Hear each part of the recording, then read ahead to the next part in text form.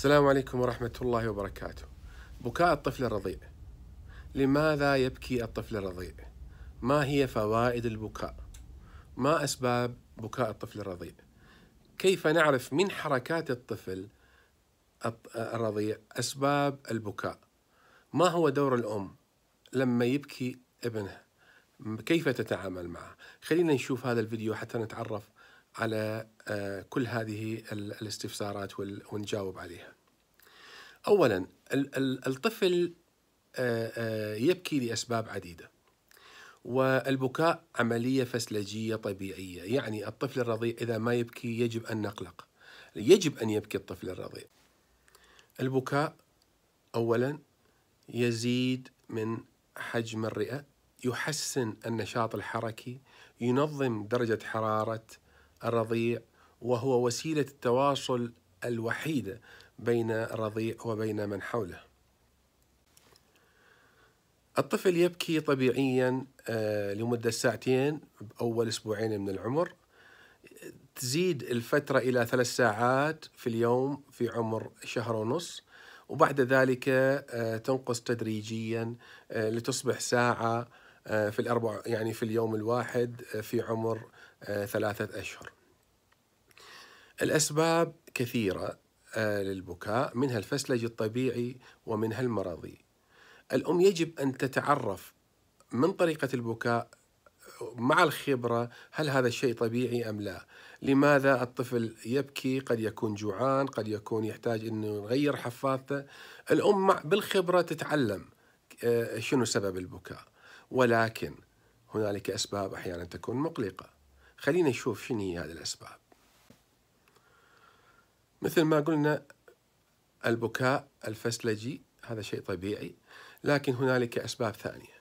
تبدأ من الأشياء البسيطة مثل مغص الرضيع الحميد آه، تغيير الحفاظة درجة حرارة الغرفة طفح في منطقة الحفاظة أو أحيانا أشياء نوعا ما فيها خطورة مثل التهاب الشعب الهوائية أو مثلا آه، اضطرابات في عمل القلب تسارع في نبض القلب أو التهاب المسالك البولية أو مشاكل في العين مشاكل لا حصر لها. لذلك الطفل اللي يبكي وعمره أقل من ثلاث أشهر يجب أن يقيم تقييما صحيحا من قبل الأم وبعدها الطبيب.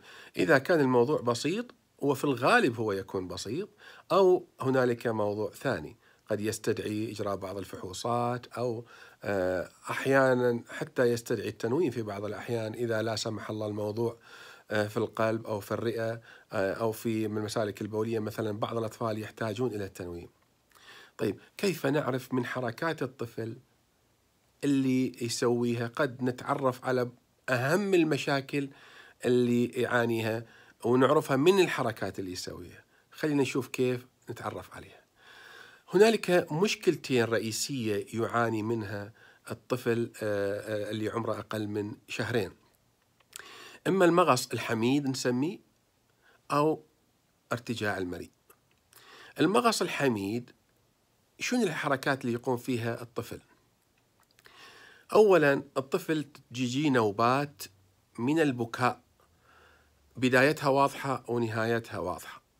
يبدأ يشد إيديه وأصابعه إلى الأعلى وجهه يحمر يصير عنده شحوب حوالين الفم شد البطن وانتفاخ بسيط في البطن شد القد... الأطراف السفلى إلى الأعلى وتقوس الجذع إلى الأمام. عفوا. هذه النوبات تحدث في أي آه، وقت من النهار أو الليل ولكن تميل إلى الحدوث في الليل. بينما بحموضة المريء الطفل تجي نوبات من البكاء. والاختناق أثناء أو بعد الرضاعة يرفض الرضاعة يقوس جسمه إلى الخلف عكس ما يحدث بالمغص. في المغص يتقوس للأمام. أثناء ما يقوس جسمه إلى الخلف أحيانا يميل رأسه إلى اليمين أو إلى اليسار مع التقوس إلى الخلف. مد الساقين عكس ما يحدث في المغص. مع المغص يرفع الساقين للأعلى. فبهذه الحركات لو الأم وصفت له للدكتور حيميز هل هو هذا مغص حميد أو هو ارتجاع مريض مريء أو أو حموضة مريء ويتخذ الإجراء الصحيح. طيب ما هو دور الأم؟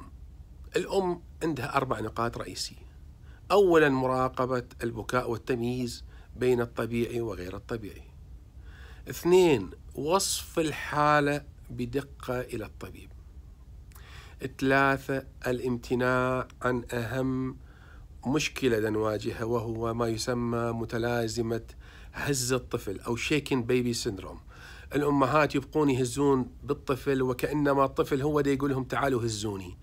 هذه هذه الحالة تؤدي إلى حالة خطرة لأن مثل ما نعرف الدماغ يحيط به سائل فإذا هزينا الطفل بقوة دماغ الطفل راح يتحرك بالسائل بقوة وهذا يؤدي إلى تمزق في بعض الشرايين أو الأوردة ويؤدي إلى نزف دماغي فبالحالة الطفل يبكي ومشكلته بإذن الله بسيطة راح نوصله إلى حالة خطيرة قد قد يحتاج إلى تداخل جراحي في الدماغ أو لا سمح الله شيء أخطر من هذا. الحالة الشيء الرابع اللي نوصي فيه الأمهات عدم إعطاء الأعشاب. الأعشاب. لا تعطينا أي أعشاب لطفل يبكي لأن ما بها أي فائدة. وابتعدوا عن بعض الأشياء الثانية مثل الأشياء الشعبية وخصوصا يعني نشوف لا سمح الله بعض الأطفال يكوهم لاعتقاد منهم إنه الكوي لازم يعني يكون شيء هنالك سبب. لذلك لازم نكويه حتى يطيب. وإلى آخرها من الأدوية أو أو الاجتهادات الطب الشعبي اللي ما بي أي فائدة. شكرا جزيلا على المتابعة. لا تنسون الاشتراك في القناة وإن شاء الله بإذن الله الفيديوهات القادمة راح تكون بالتفصيل عن المغص الحميد للطفل المولود حديثا وعن يعني حنسوي فيديو ثاني عن ارتجاع المريء عند الأطفال. لأن هاي مواضيع مهمة يجب أن نتعرف عليها بالتفصيل. شكرا جزيلا على المتابعة.